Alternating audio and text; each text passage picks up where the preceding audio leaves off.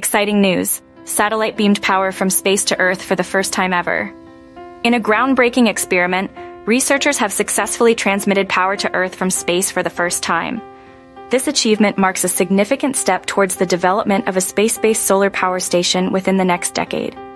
The space-based solar power station holds the promise of harnessing greater exposure to the sun, free from the hindrance of clouds and atmospheric interference. Moreover, it offers the potential to overcome the limitations of nighttime darkness.